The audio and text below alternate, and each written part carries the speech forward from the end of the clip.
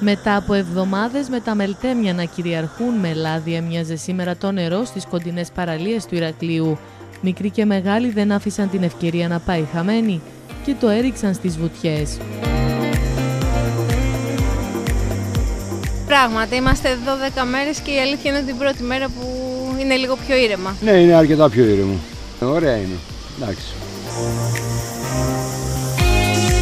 Με ηλιοθεραπεία, κολύμπη και παιχνίδια στην άμμο πέρασαν στη θάλασσα και τη σημερινή ημέρα ηλουόμενοι, με πολλούς από αυτούς να εξηγούν ότι περίμεναν πώς και πώς να κοπάσουν οι έντονοι άνεμοι, για να αισθανθούν επιτέλους ότι όντως είναι Αύγουστος. Χαίρομαι πολύ, έχω σήμερα ρεπό. Καλό καιρό, όχι σου αρέσει τώρα η θάλασσα.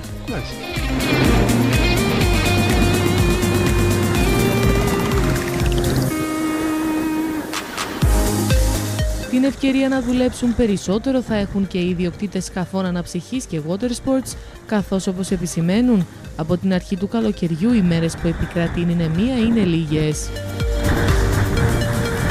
Η κίνηση είναι έτσι και έτσι.